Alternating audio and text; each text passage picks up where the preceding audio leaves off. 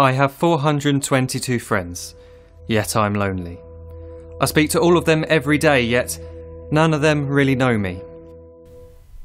This is the sad reality.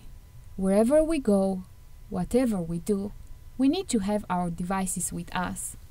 While this technological era helps us multitask and keeps us connected with our loved ones, it also creates addiction.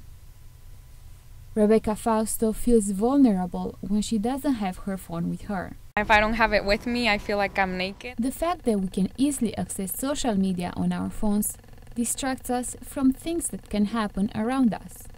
I do feel I waste a lot of my time in social media just going through pictures, videos. It's it's not the real world and I'm just wasting time on it instead of being with real people. Bianca Hernandez sees how this technology affects her life when going out with her family.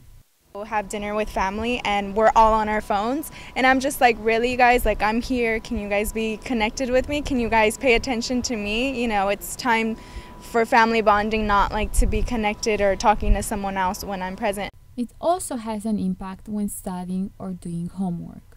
Last thing we do before going to bed is checking our phones and that's the first thing to do when we wake up. Because I feel like they need to have it next to me all the time. I feel something's missing if I don't have it with me.